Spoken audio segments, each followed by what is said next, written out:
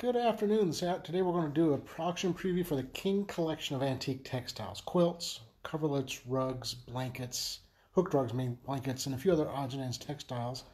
We're at the office. I'm going to go ahead and flip this around. We'll walk through and talk about the rugs and the small pieces first. And then I'm going to have Amy handle the camera while I open up some of the quilts and coverlets so you can get a better idea of those. If you have any questions, go ahead and post them below uh, or uh, give us a call at the end of the, you know, some other time. But uh, there's some really interesting hooked rugs in this auction. And you can see we have them kind of spattered off the building. Oh, this one's backwards. see if I can get that with one hand. Oh, I can. Check it out. Basket, uh, fruit basket. It's kind of cool. This hooked rug is really wonderful. Probably 1930s or 40s. Had a local expert come in and look at it. Thought maybe from the 50s, but the condition is just wonderful. And the colors are great. If you notice, there's um, different variations of the purples and the colors uh, don't like they're um, it's not all just pink or red. It's like different tones and colors of those colors. You get a lot of depth. Some neat uh, geometrics like the circles.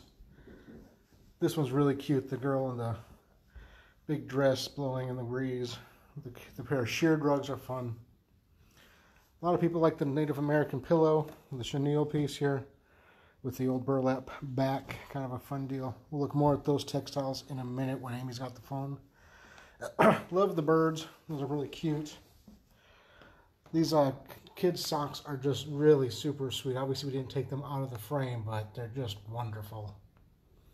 A lot of people dig the old Christmas stockings. I gotta tell you, I've never seen ones from this age and anything close to this condition, and there's three of them, so that's pretty cool. The Arthur Murray handkerchief is cool. Really dig the Buddy Lee lead uh, jeans Nick, uh, Nickies.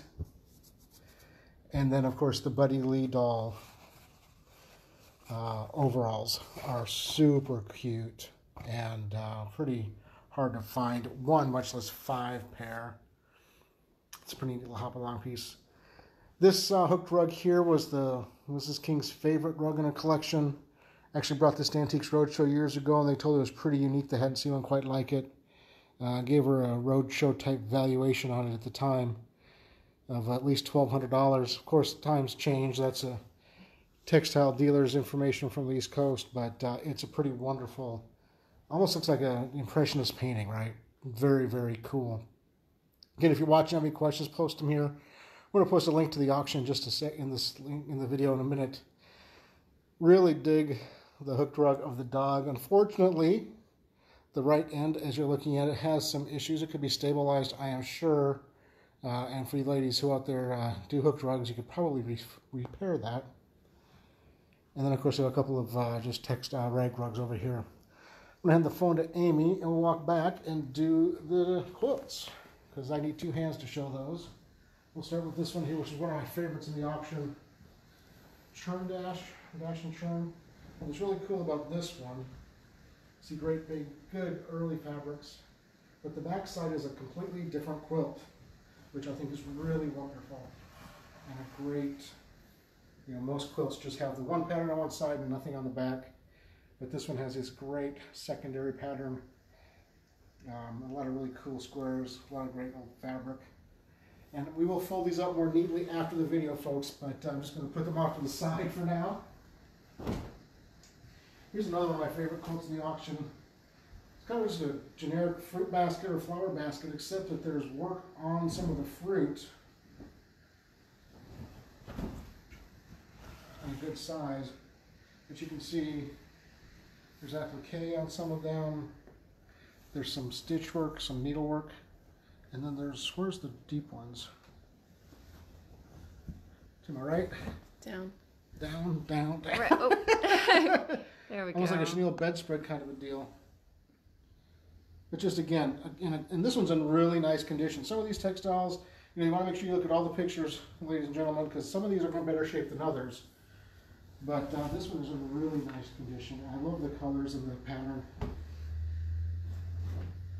Um, this is another really cool one, really good stitch count on this. And I just love the simplicity of it. You know, sometimes quilts can get really busy, but this one is uh, just has a great kind of variation of a star pattern, right? But it's just good colors. Oh, good. Donna managed to, to get her password. Hi, Donna. That's great. You're welcome. if you have questions about any aspect of the auction, let us know. We will help you get registered, logged in, and get you ready to bid on these great textiles. Um, but yeah, this is one of another nice one. I'm not really going to spend much time with the double wedding ring. That's a, you know a pretty standard quilt, but good colors. There's some neat blankets, some good color combinations. This uh, like darkish brown and the cream is just, I think, a really nice, pleasing. It's really thin too. It's it's like a shawl almost. It's Yeah. very soft. Good summer reading weight. Late afternoon kind of a deal. I dig the checkerboard. I always have. These little camp blankets like that. You know, it's warm. It's got some edge wear on it, but the colors are fun. And uh, checkerboards are always awesome. Another cool blanket there. Let's gonna go past that one. See what we have here that is interesting or intriguing. Oh, love the colors on this. The red and the orange and the white, or cream really. This one needs a good clean up, but that is white, just over years, or white, brighter white. But you know, really graphic, could really make a statement in a room. And uh, in really nice shape on that one as well. If you have questions about anything in particular, let us know. We're just kind of going through uh, as we run across these. This quilt has so many little squares. I mean, look at that. How much work was put into that? All these little squares are barely an inch.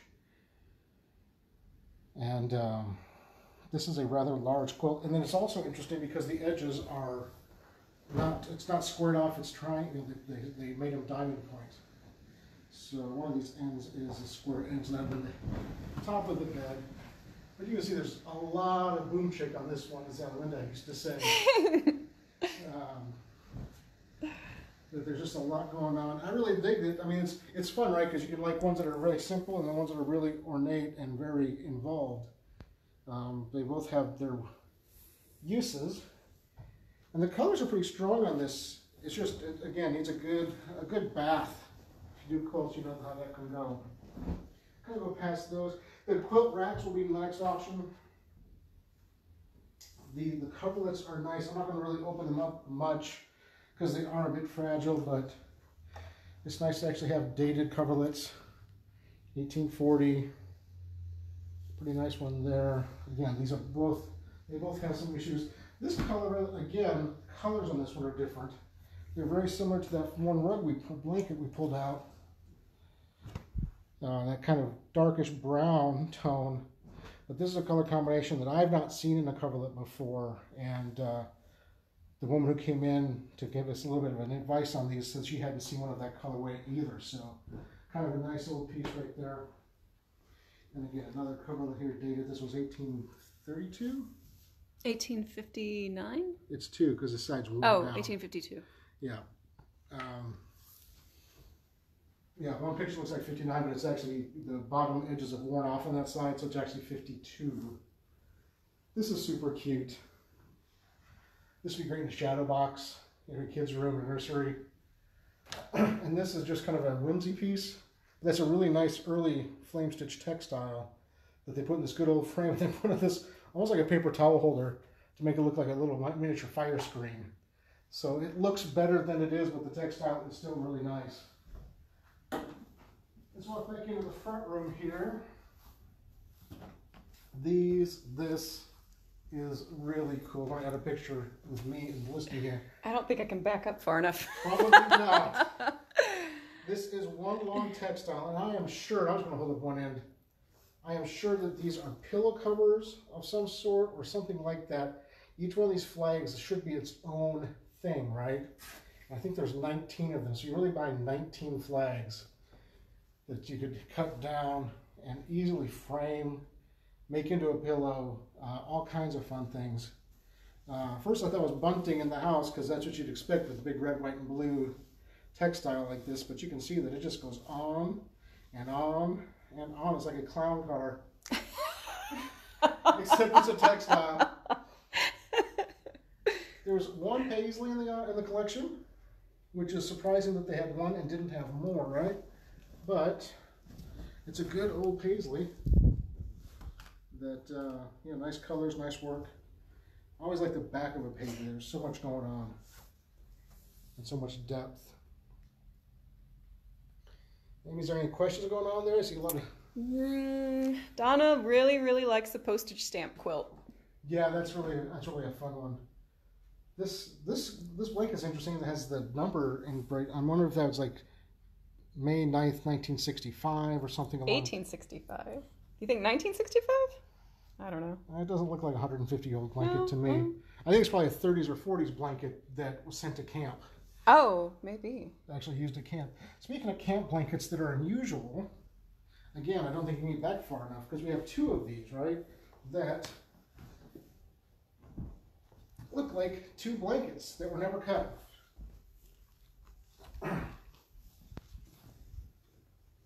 See right here, if you look, you got this. Oh, there's a chair like- there. Like barcode strip here and a barcode strip there and there, but there's this, I think it's supposed to be cut in this black and you have two, two blankets because it's plenty long enough to be two blankets. Or maybe fold it over on itself and use for like winter weight. I don't know, but it, I've never seen any like this before and there are two in this collection like it, which is unusual. We're kind of getting the end, a couple more nice quilt or coverlets, nice tricolor. That's always a little bit more hard to find, the red, white, and blue. And then the blue and white, and I like these that have the reverse, if I can find the corner. Blue and white and white and blue. I always like that reverse kind of negative. And I don't know if this one is old or not, but I just thought it was very, almost elegant. I love that really fine uh, pattern and really nice lightweight. Again, a really good curl up on the couch, read a blanket, read a blanket, read a book blanket. I guess you could read a blanket. Eh, we could read this textile, the Roll Touch textiles. These are curtain panels advertising the Roll Touch sewing, no sewing, uh, laundry system, right? You got the. oh, this is upside down. Yeah. Yeah, so she is, um, these were probably in some sort of country store. And you can kind of see, you can see in person really well, the different, uh, you know, chores, tasks. Is she holding a boot or a sock? A glove? I can't tell. But pretty unusual. You don't find advertising textiles like this very often. Couple more quilts. Again, more nice. The red and white's really fun. Too bad the red's faded, right? That'd be really striking if the red was like this, like it was originally. But nice pattern and still you know, bold. I like two color quilts because it makes it easy to decorate a room with. And if you like yellow, which is a really popular color right now, this would be a good color, a good quilt to use in a good spring bath bedroom. Um, again, nice weight, good summer weight on that quilt. Uh, easy to use and, and manage with. Big, not Texas star, right? It's uh, just a starburst quilt. Yeah. A bunch of stars and little nice little flowers. So that's kind of it. If you have any questions, post them here. Um, we'll post this video in the catalog here shortly. Send an email as well. Again, we're pretty excited to bring this collection to you. We've had some really good success with the silver and the antiques portion of it. Have another, we have three other auctions online right now. We just listed our fourth auction online today. Uh, so there's a lot to choose from on the website. If you have any questions, let us know. Thank you all so much for watching. Have a great day and good luck in the auctions.